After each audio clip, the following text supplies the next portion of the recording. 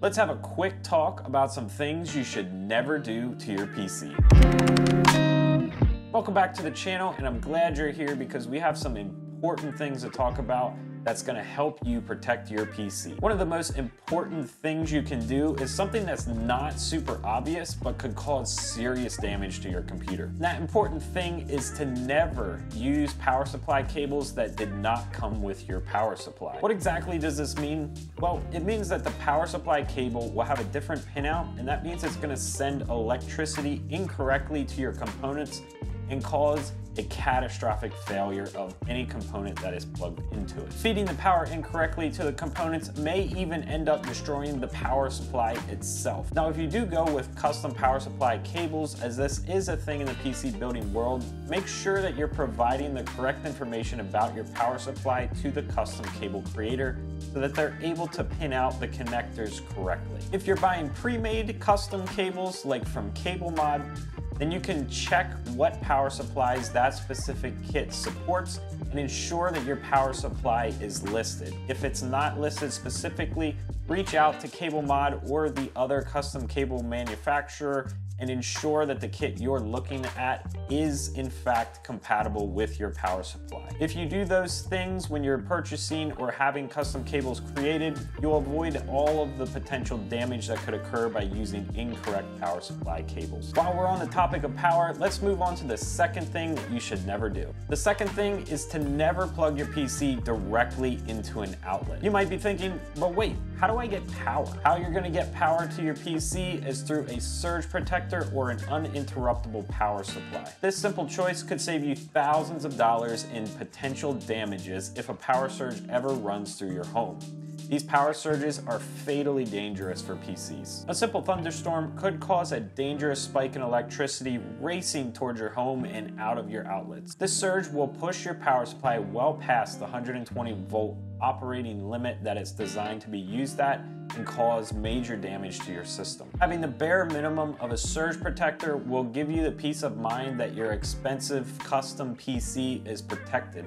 And you can take that protection a step further with an uninterruptible power supply. An uninterruptible power supply will protect your system from any type of power problem, whether it's gonna be a surge, dirty power, a brownout, and even blackouts. And that leads us into the third thing you should never do to your PC. Never turn your computer off by holding the power button down switching the power supply off, or unplugging it from power. Now this point only applies if you have an operating system installed. If you don't have an operating system installed, there's really no other way to shut your system down. Now this point only applies if you have an operating system installed as you could potentially corrupt your entire operating system if you do shut your system down this way. If the OS is in the middle of modifying or writing system files, you shut the PC down without shutting the OS down first, you will corrupt those files and it will become unreadable. Those files are potentially extremely important to the operation of the operating system itself and will cause your PC to not boot anymore. You may be able to repair your operating system using Windows Repair, but I personally have never had any luck with that tool.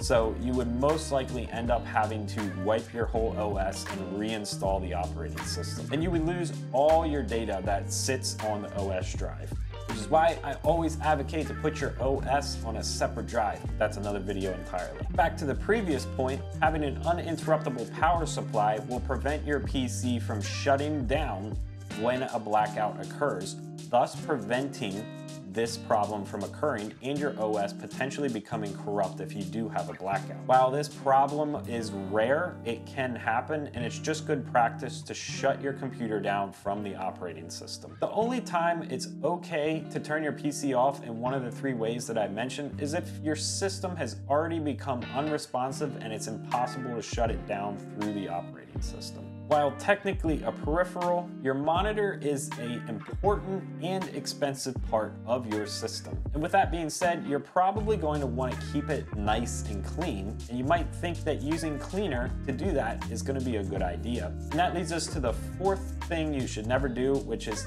never use cleaner on your monitor screen. The only thing that should ever touch your monitor screen is a dry or very slightly damp microfiber cloth. Cleaners will cause etching or scarring on the actual screen of your monitor, and it will also ruin the glossy or matte finish that it came with. And if that happens, the clarity of your monitor is ruined. While there are some cleaners out there that claim to be safe to use, your best bet is to just stick with the good old microfiber cloth that's either dry or very slightly damp. This will just prevent any mishaps from happening and your monitor will last you a long time. And finally, the last thing you should never do to your PC is give it secondhand smoke or vape. Smoke and vapor will get pulled into your PC through the intake fans will cause a bunch of nasty residue to start building up all over your components. Not only does this look really bad on your PC, it's also going to cause a loss of performance through decreased thermal transferability of the components in your PC. Not to mention, vape clouds are water vapor, and we all know what water does to electronics. So just like secondhand smoke